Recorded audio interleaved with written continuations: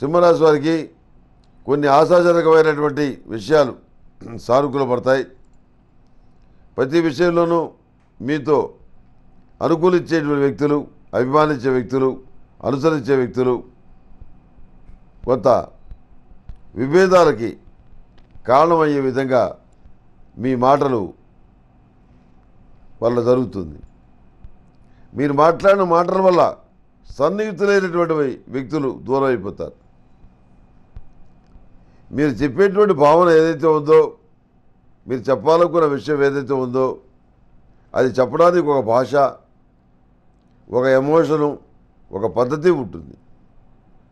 ఆ రకంగా కాకుండా ఏదో ఎదుటి వాళ్ళ మీద విశేషమైన కోపం ఉన్నట్టుగా మీరు కొన్ని విషయాలు మాట్లాడడం వల్ల ఇంత కోపం ఉంది మా మీదేనా అనేటువంటి భావం వాళ్ళకి కలిగే పరిస్థితిగా గోచరిస్తుంది. అందుకని ప్రతి విషయంలో కూడాను సంయమనాన్ని పాటించడం అనేది చెప్పదగిన విషయం. నాకు అన్నీ తెలుసు నాకెవరు చెప్పక్కర్లేదు నేను మేధావిని లక్ష మంది సలహా చెప్తాను అనే భావన మీకు ఉండొచ్చు. తప్పులేదు మీకు ఆ సామర్థ్యం ఉండొచ్చు. కానీ సొసైటీలో బిహేవ్ చేసేటప్పుడు మీరు ఎంత గొప్ప స్థాయిలో ఉన్నా లో ప్రొఫైల్ మెయింటైన్ చేస్తే మీకు మంచి పేరు ప్రఖ్యాతులు సంప్రాప్తిస్తాయి.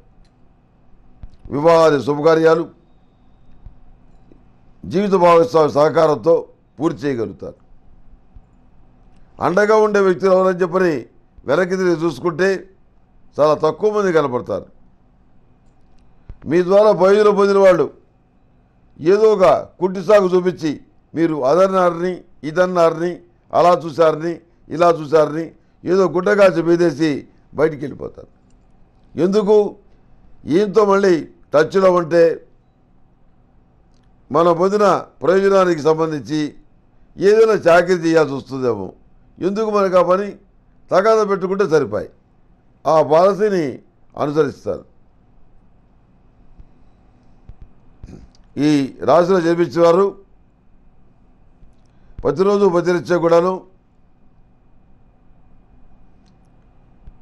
సర్పదోష నివారణ చూడంతో స్నానం చేయటం నాగబంధాన్ని ఐశ్వర్య నాగిని ఉపయోగించడం అన్ని రాసుల వారికి కూడా చెప్పదగినటువంటి సూచన. ఈ రాశిలో జన్మించిన వారికి రోజ్ కలర్ బాగుంటుంది. అదృష్ట సంఖ్య ఐదు. ఏదైనా పని మీద బయటికి వెళ్ళేటప్పుడు బుధవారం కానీ గురువారం కానీ బయలుదేరి వెళ్ళండి. మంచి ఫలితాలు సంప్రాప్తిస్తాయి. ఏ పూజైనా ఏ నోమైనా ఏ వ్రతమైనా ఏ అభిషేకమైనా ఏ హోమమైనా ఆర్డర్ చేయండి. అందుకు అవసరమైన పూజా సామాగ్రిని డోర్ డెలివరీగా పొందండి. ఈరోజే మీ పూజా సామాగ్రి కొరకు ఈ పూజా స్టోర్ డాట్ ఇన్లో లాగిన్ అవ్వండి.